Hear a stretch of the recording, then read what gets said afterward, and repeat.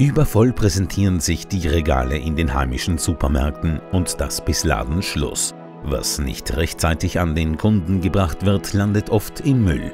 Die Braunauer Tafel macht es sich seit 2009 zur Aufgabe, zumindest einen Teil davon vor der Tonne zu bewahren und mit der Weitergabe an bedürftige und sozial schlechter gestellte Personen sinnvoll zu verwerten. Durch was unterscheidet sich die Tafel von Sozialmärkten? Äh, die Sozialmärkte verkaufen die Lebensmittel, die sie äh, an die, ihre Kunden abgeben, zu einem geringen Preis, der wesentlich niedriger ist als der normale Verkaufspreis in den Geschäften. Äh, bei der Tafel ist es so, dass wir die Lebensmittel von den Märkten einsammeln und sortieren und dann an die Menschen mit geringem Einkommen kostenlos abgeben. Menschen helfen und Lebensmittel im Müll verhindern, die Devise der Braunauer Tafel. Was damals als Ausgabestelle der in Bayern gegründeten Arnsdorfer Tafel begann, ist seit 2016 ein eigenständiges Projekt. Welche Personen sind anspruchsberechtigt? Anspruchsberechtigt sind grundsätzlich alle Personen, die ein äh, niedriges Einkommen haben, das unseren Grenzwerten entspricht. Wir richten uns da im Wesentlichen äh, nach der Mindestsicherung beziehungsweise sind wir knapp darüber, sodass wir auf jeden Fall gewährleisten können, dass Personen mit äh, niedrigem Einkommen äh, bei uns anspruchsberechtigt sind und äh, je nachdem, ob die, wie viele Personen im Haushalt vorhanden sind, kann das Einkommen auch ein bisschen höher sein, sodass wir auf die individuelle Situation der Familie eingehen können. Die Einkommen werden von uns äh, einmalig überprüft und äh, einmal im Jahr, am Jahresanfang, äh, wird geschaut, ob die Einkommensgrenzen noch stimmen, beziehungsweise ob die, äh, ob die äh, Voraussetzungen noch gegeben sind, dass sie bei uns Waren beziehen können. Rund 70 freiwillige Helfer unterstützen die Braunauer Tafel nach Kräften, sei es Warentransport, Qualitätskontrolle, Vorbereitung der Ausgabe oder Administration.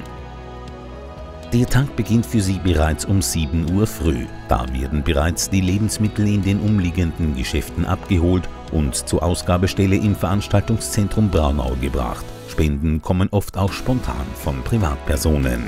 Andererseits sind wir Mitglied im österreichischen Tafelverband und äh, über diesen Verband beziehen wir auch Waren, die äh, zum Teil von Großproduzenten abgegeben werden, weil sie äh, im Handel nicht mehr verwendet werden können. Gleichzeitig ist es so, dass wir mehrfach im Jahr mit Unterstützung einerseits vom Lions Club, andererseits mit, eigener, mit eigenen äh, Mitarbeitern äh, zu den großen Einkaufsgeschäften gehen und die Kunden fragen, ob sie ein Stück mehr kaufen wollen und das dann zugunsten der Tafel spenden.